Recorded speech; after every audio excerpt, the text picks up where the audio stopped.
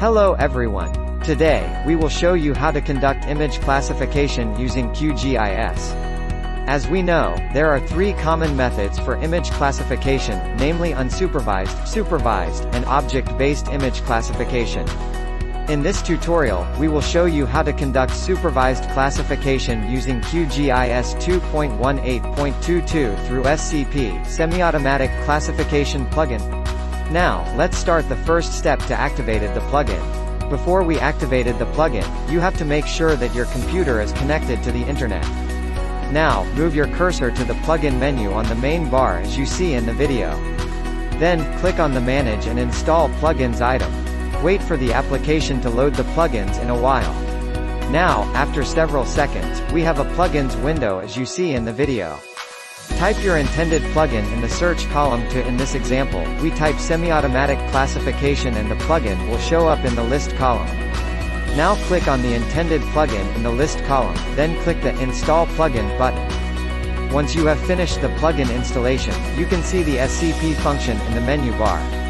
Now, move your cursor to the toolbar as in the video, then right-click on the toolbar. Give the tick mark on the SCP dock panel. Now, the SCP dock panel will show up on your monitor. You can move and put the dock panel on a certain edge of the application window. Now, move your cursor on the SCP dock panel. Then click on the SCP Input tab as in the video. Open your satellite imagery data by click on Open a File icon as you see in the video. Select your raster data in the browser window and click on the Open button. Prepare your image by making an image composite as you see in the video. Right-click on the satellite imagery layer name. Then click on Properties. Define the red-green-blue composite as we show you in the video. In this example, we use Landsat satellite imagery with a RGB composite of 572 near SWIR and blue band for the better look on mangrove objects.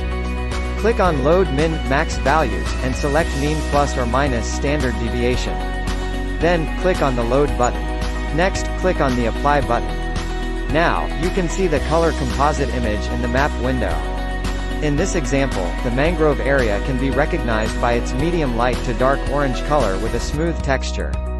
Land vegetation or forest can be distinguished by its brown color. As you see in the video, land vegetation can be found just in the south of the mangrove area. Okay, now we start to collecting training pixels for the data input of the classification algorithm. Move your cursor to the SCP dock panel. Click on the Create a new training input icon as in the video. Then, select your working folder. Type your intended file name, and click on the Save button. Now, click on the Classification Dock tab. Under the ROI creation, define your class ID as well as the class name. For example, we set the MCID as number 1 for mangrove objects as you see in the video. Now, click on the Create a ROI polygon icon. Then, move your cursor on the mangrove object within the satellite image. Draw the training polygon by click on each polygon segment as we show you in the video. Finish the polygon by right-clicking on your mouse. Then, click on the Save Temporary ROI to the training input icon as in the video.